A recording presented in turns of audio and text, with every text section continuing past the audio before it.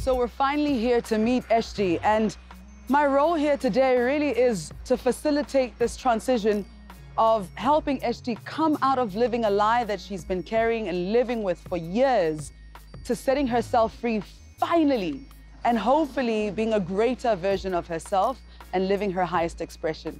Let's go meet Eshti. So before we reveal your big secret, let's just get to know you a little bit. What was life like for you as a young child? I was a very happy child. I would, but I'll always be with girls. Um, I've always been a girl, like, you know, play with girls, play netball, do everything. So you look like a, a girl now. I mean, I see a woman in front of me. What do you I'm mean? a woman now.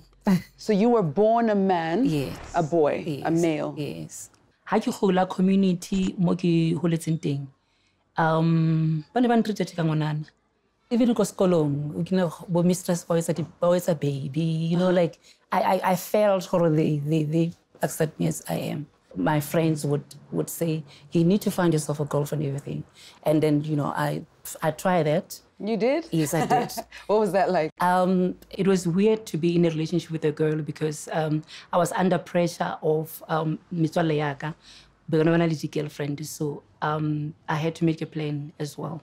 Unfortunately, the girl was a lesbian. I didn't know she was a lesbian Uh-huh, because we boy. were both in a church. I got you. Grew up in a church and Oh. everything, so you have to be pushed. Ba ne ke nahana hore ke re ke ke moo motho a ka yang teng, um, a kgone bua le Modimo. Empa ka thola hore it's not always like that. There will be, you know, um, the issue of homosexuality. You could tell how it is, it's directed to me. So this is an orphanage. It's an orphanage. And was this deliberate? Is this something you'd say is a calling? How did this come about? I'm also an orphan. I was adopted by Mom Dora. She passed on. I was, I was, I was um, already finished matric, and um, I found myself here from home. Came here because I wanted to be a radio presenter. I wanted to be on TV and everything. I got here, and then I studied audiovisual communications. And then I heard about auditions at, at Rainbow FM, it's a Christian community radio. And then I started as a um, commentary news reader. So then they trained me, then I started doing commentary news. And then eventually I became a presenter, you know.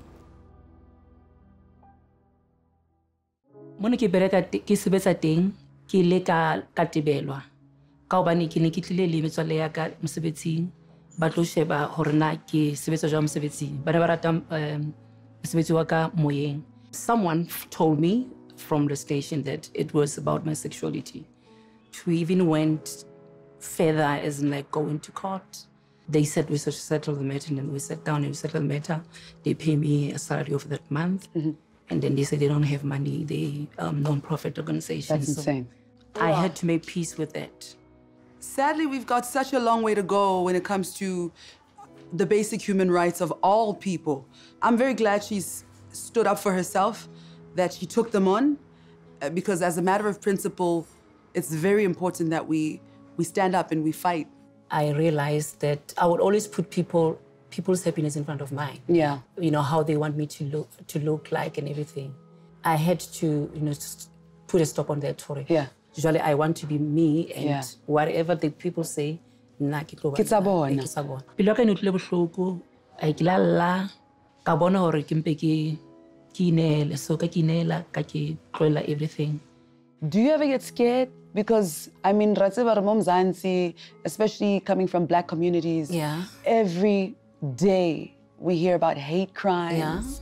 Is that something you ever fear? I do get get scared. I remember that at time I was going to work at Mm. Mahara FM, and I was um, I nearly got raped. Mm. There were two guys who put. Uh, I was like, they took everything. They took my bag, money, cell phone, everything on a um, knife point. Uh, Fortunately, the time they wanted to um, rape me, there was a car, car came through, and then um, they ran off. Ke la dula for like a month ke le ka ya mosebetsing ka ba reportela this is what happens and whatever ka dula for a month ke feela ke sa tshepe at all It's quite sad and troubling to hear about Eshti's trauma. I- I'm just happy that she she lived to tell the story. Do you dress like this every day?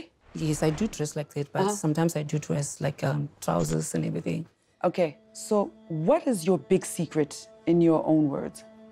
My big secret in my own word is like um, Secret, yeah, HD is puzzling. I don't know, that's just me. I'm revealing the secret to Mahoto. Mahoto is a lady that I met in June. So she's also one of the people who also help out here. I just want her to know me in a more, you know, deeper way. You don't think she already knows? I don't know. How do you think she'll receive the news? I'm ready, whether he, she accept or she doesn't accept, but at least I'll be free.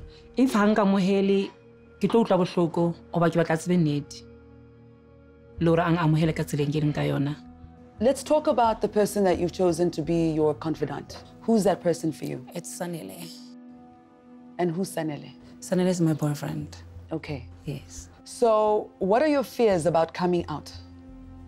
i'll have people um, moving away from me especially because of what they believe in you know like you cannot stop people from what they believe in, you know, especially christians